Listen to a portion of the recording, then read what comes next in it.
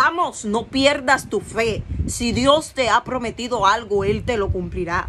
Quiero que te quedes hasta el final de este video, atentamente viendo este testimonio que alimentará tu fe y te mostrará una vez más lo que está escrito en el libro de Números 23, 19, que Dios no es hombre para mentir, ni hijo de hombre para arrepentirse. Recuerda que cuando Dios te promete algo, Él te lo cumple por completo. Escucha este testimonio. A mí me invitan un día a una campaña en Guatemala y cuando yo llego, termino de ministrar y el pastor me dice, esa anciana quiere que usted vaya a su casa. Digo, ay no, pastor, yo salgo muy cansado, yo voy mañana. No, varón, venga hoy. Dice, no, varón, venga hoy, yo sé lo que le estoy diciendo. Esa gente, esa mujer la me invita a gente exclusiva a esa casa. Digo, no, no, no se apure, yo soy exclusivo, aunque ella no me invite. Yo no sé cómo me convencieron, vamos. Cuando vamos, Percy, a paso milésimo, la pobre ancianita no podía ni caminar. Digo, mi madre, que yo voy a llegar de aquí a pasado mañana. Yo no quería ir, pero cuando llego a la casa, ya como que me emociono un poquito, porque veo a la doña con una foto con Casluna, con Gille, con Motesi. Digo, ¿y esta gente? Dice que ella nada más invita. Digo, espérese, antes de darme cualquier testimonio, tírenme una foto. Quiero ver mi cara ahí. Alaba.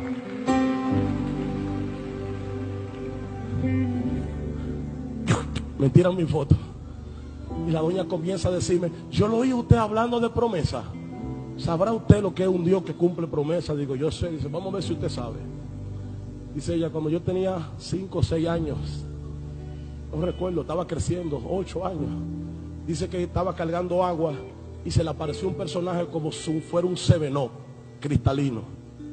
Y le dijo, yo soy Dios.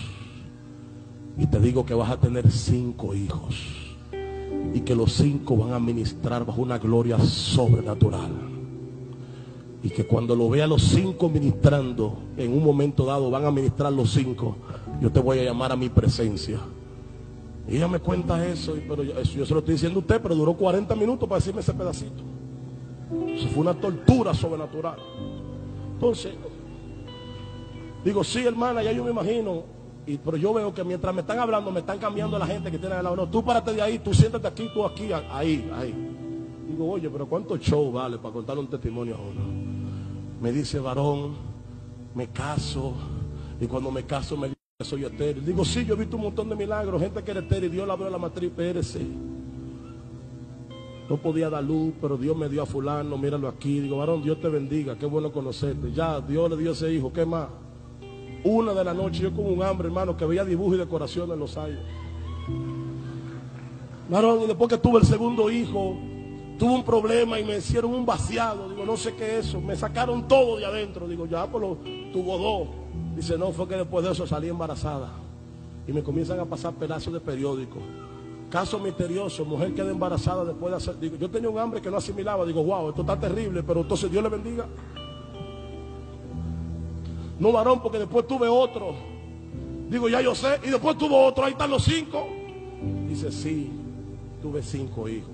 Digo, wow, vamos a orar para que Dios siga dándole fuerza. En lo que me está contando dice, comencé a crecer, y a la iglesia, me convertí con el pastor, aquí me enseñó el pastor y todo bien, pero de repente mis hijos comenzaron, algunos se apartaron y uno se fue para Alemania a estudiar medicina. Y mientras esté estudiando medicina ya se fue el único que no se convirtió. Y fulano, fulano, fulano y fulano se convirtieron. Y cuando ya yo tengo tantos años, eh, estoy viviendo bajo una victoria terrible, llaman al pastor. Entonces ahí se calla ella y comienza el pastor a hablar. El pastor dijo, varón, fue un momento difícil. Me llamaron diciendo que el hijo que ella tenía allí en Alemania se murió y nosotros no sabíamos cómo íbamos a hacer porque esta señora es una mujer nerviosa. Y entonces Maquel era impío y ella le había dicho a todo el mundo que, que Dios le había prometido que su hijo iba a ser cristiano. Entonces se iba a frustrar la fe de ella y se iba a morir. Así que el pastor comenzó a explicarme todos los procedimientos. Para colmo muere un martes y viene llegando el sábado a Guatemala porque hay una ley que hay que primero velarlo allá eh, allá donde está en Alemania. Entonces en lo que viene el procedimiento van donde un médico porque se lo van a decir a la doña. El médico le da una pastilla, la prepara, hasta que llega el momento que le dice, mamá, Marco murió allá en Alemania y ya llega esta tarde. Y, todo el mundo está ahí asustado pensando que la doña se va a rajar a gritos. La doña no dice ni media palabra, no dice nada, está seria. Llaman al doctor y dice, doctor, la mamá no dice nada, está seria, estamos asustados, se supone que ella llore. El doctor dice, estate tranquilo, esa reacción posiblemente sea normal, pero llega el momento donde ya el muerto viene de camino y allá velan los muertos regularmente en la casa de la gente. Vienen entrando el muerto, hay un corre-corre, agarren a mamá, le va dar una sirimba, agárrenla bien, busquen berrón para que huela y no se desmaye y la doña está tranquilo. No quiero que nadie esté tranquilo. Eh, mamá, sea paciente, tranquilo. Ponen el muerto en la sala, lo destapan, la gente se ataca, los hermanos, los vecinos, el pastor se ataca y la doña coge para atrás de la casa.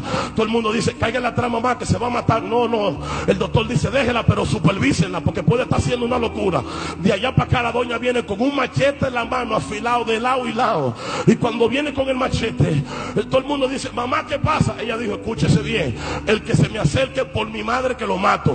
Llaman al doctor y dijeron, doctor, mamá se volvió loca, ¿qué hacemos? El doctor dijo, hasta aquí no llega mi revelación, no sé qué hacer, ay- ayude lo que ustedes puedan. Y la mujer está, "Eh, pero mamá soy yo, si se acerca te mato. Pero mamá, si se acerca te mato. Todo el mundo está asustado con la doña. ¿Y qué usted quiere hacer? Quiero ir para donde mi hijo. "Eh, sí, pero venga, pero al no me tope, yo sé caminar. La mujer llega donde el muchacho y con el machete va a llorar. La verdad que tú toda la vida has sido un malcriado, desobediente, mal educado, freco, atrevido. Usted no sabe que cuando yo tenía apenas ocho años a mí se me apareció el Espíritu de Dios, el más grande de todos los dioses, y me dijo a mí que yo iba a tener cinco hijos. El más problema que me dio de todo fuiste tú, vagabundo. Y me dijo que yo me iba a morir cuando lo viera los cinco predicando. Y ahora me van a decir usted a mí que usted se muere y ni siquiera te ha convertido. O sea, que tú estás tratando de decir aquí que Dios es un mentiroso. Todo el mundo está, déjela, que ella se está desahogando. Yo me estoy desahogando. Te guarda dos minutos para que te pare de ahí, si no te voy a matar de verdad. Alaba a Dios si puede en esta hora. El muchacho comenzó a estornudar un montón de veces. El muchacho comenzó a estornudar un montón de veces. La gente comenzó a correr.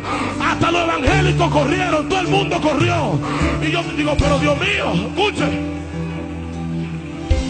Digo, espérate, ahora el testimonio cogió nivel. Digo, doña, ¿y cuál es el muchacho? Este, el que te sentan al lado. Digo, espérate, muchacho. Alaba, digo, espérate. Cuando me cuentan todo, a ese día no es cristiano todavía. Digo, mira muchacho, tú vas a una oración conmigo ahora. Repite conmigo. Cuando dije Señor Jesús, la hermana me dio una tabana ahí. ¡Pum! Digo, hermano, ¿y qué pasó? Déjelo quieto, que sea el espíritu que lo convenza. Digo, pero es para que su hijo se convierta. Es que usted lo yo, que después que los hijos sean predicadores, yo me voy a morir. Déjelo quieto.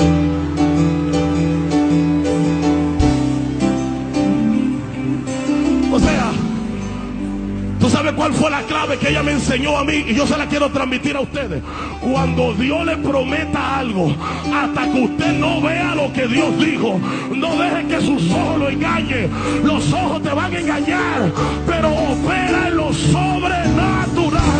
A- Alguien me tiene que entender lo que le estoy hablando. No ceda, no ceda, no ceda.